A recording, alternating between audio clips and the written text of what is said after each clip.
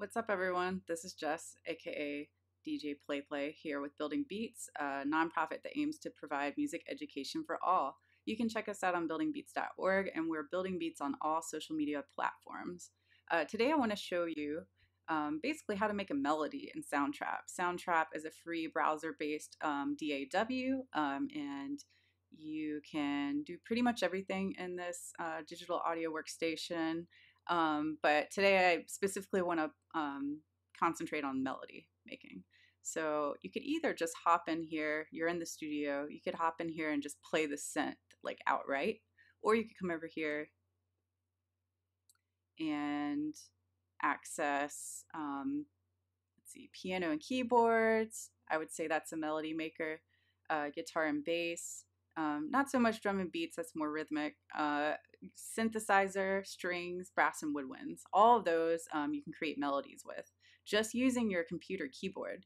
You can also hook up a MIDI keyboard onto like to your computer and Soundtrap will recognize it, um, but you don't need that. Um, you can just use your computer keyboard. So let's go and start with piano, start basic. Um, so you'll see this come up, this uh, keyboard here. And you'll notice that, you know, G, H, J, L, 1, like these are definitely not keys, but these are corresponding to your computer keyboard. Um, so you will see C4, that is a key, that is a musical key. Um, that is the key of C, right? Um, and that's the fourth octave. Um, so, but you'll see right here that in order to play that, I'll need to play a comma. So I'm going to press the comma on my computer keyboard it's going to play the key of C in the fourth octave. Um, you can s- scroll to the left or the right to turn down your octave. I like a lower octave, so I'll come over here for this. Do this right here. Um, so what I really want is I want to do like a, a chord. Um, so three, I'm going to press three keys um, in the key of C, and I want to do a C major um, chord. So basically, I want to do this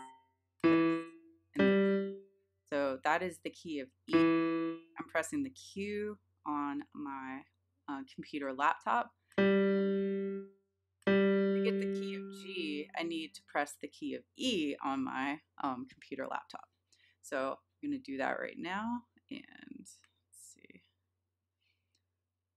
comma,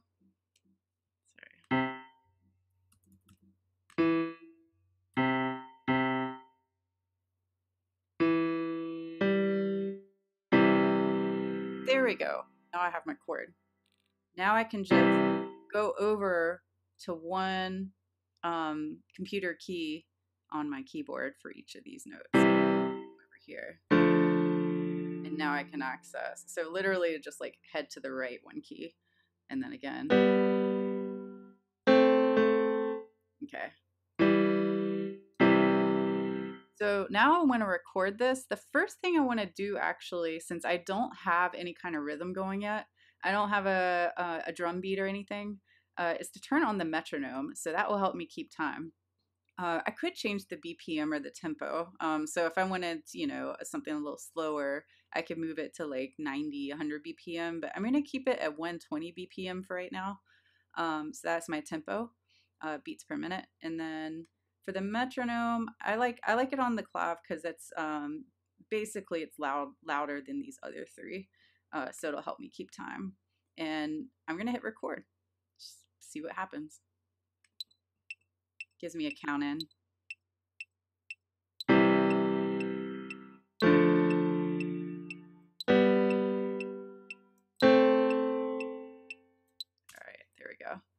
So I can either X out of here and access it up here, or I can go to piano roll.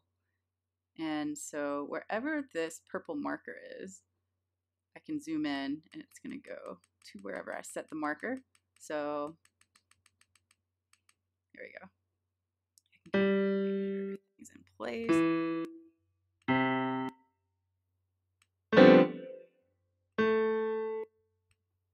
You can even move also change what's called the velocity. Um, and that's basically, you know, it kind of humanizes your melody. So if you were playing a piano, you would often play things, um, some keys louder or softer. Um, so velocity, you can click on this V and change it. And I'm literally just drag, clicking it and dragging up and down on my trackpad. So anyway, it's velocity. Um, but I'll keep it where it is for right now. And I think what I'm going to do is add a third note over here. Let's see. Okay, so I know G, B, E might work. Let's find out. It might not, though. I kind of like it. All right. And then maybe I'm going to put something like drastically high up here. This is the key. I want to go to the key of C.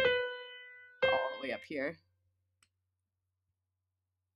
Yeah, there we go. All right, cool. So I have these three set where I want them. And now I'm going to X out and see it's like all the way. Let's see.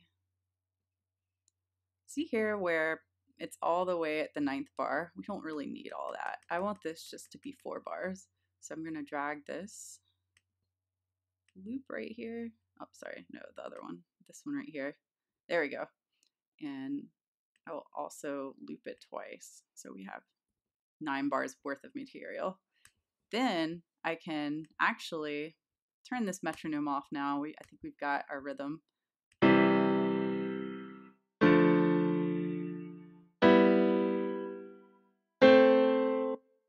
Have that. But now what I want to do is change the instrument. And this is the beauty of um, the way Soundtrap has it set up. So now I can go in and maybe I don't even want a keyboard. Maybe I want like a um, synthesizer.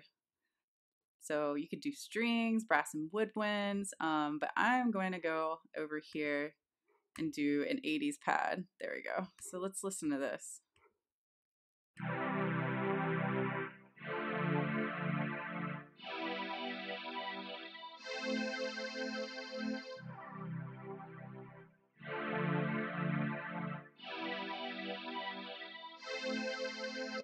Cool. Okay, so I have that. Um, now what I want to do is maybe put a beat to it. So let me just come over to these loops real quick. All right, say I wanted this.